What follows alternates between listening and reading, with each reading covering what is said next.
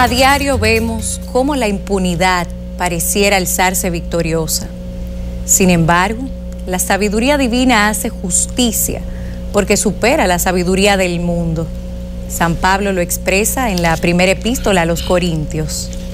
Mirad, hermanos, ¿quiénes habéis sido llamados? No hay muchos sabios, según la carne, ni muchos poderosos, ni muchos de la nobleza.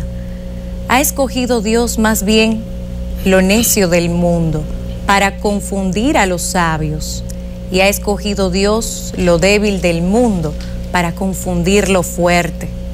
Lo plebeyo y despreciable del mundo ha escogido Dios, lo que no es, para reducir a la nada lo que es, para que ningún mortal se gloríe en la presencia de Dios. De Él os viene que estéis en Cristo Jesús, al cual hizo Dios para nosotros sabiduría de origen divino, justicia, santificación y redención, a fin de que, como dice la Escritura, el que se gloríe, gloríese en el Señor. Asimismo está escrito, porque el que se enaltece será humillado, y el que se humilla será enaltecido.